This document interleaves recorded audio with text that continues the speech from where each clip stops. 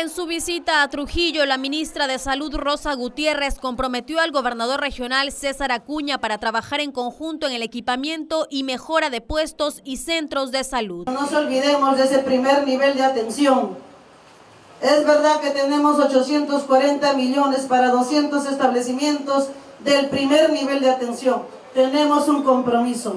El presupuesto de FONCOR, donde nosotros hacemos una parte de mantenimientos y ampliación de estos puestos y centros de salud y usted tendría que ponerle el otro brazo económico y ejecutivo para que eso se haga en la región. Es decir, puestos y centros de salud, centros maternos infantiles totalmente mejorados y equipados.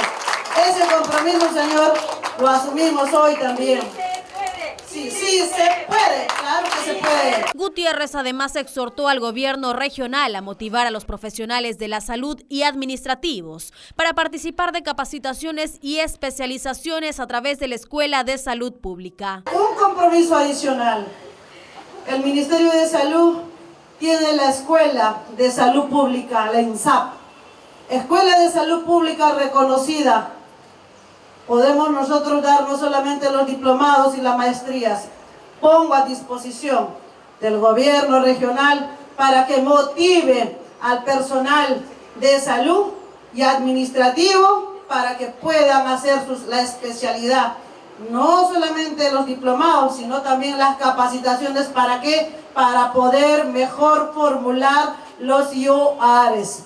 Regiones que adolecen de expediente técnico, regiones que hace mucho tiempo no hacen su mejora tecnológica. Otro pedido para el gobierno de la libertad fue que reconozcan a los profesionales de la salud del MINSA, debido al gran trabajo que vienen realizando en los últimos años. Reconocemos el esfuerzo de todos los profesionales de la salud.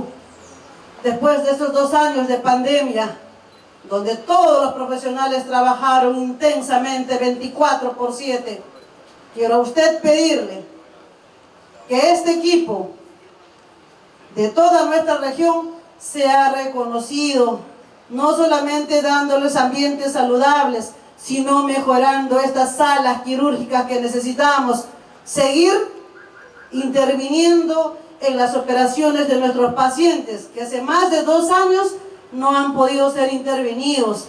Y hoy por hoy podemos decir que ya tenemos cerca a 90 pacientes en tres días y medio operados totalmente gratuitos y coberturados por el Seguro Integral de Salud. La autoridad regional, la Cuña Peralta, mostró su respaldo a lo expresado por la ministra de Salud.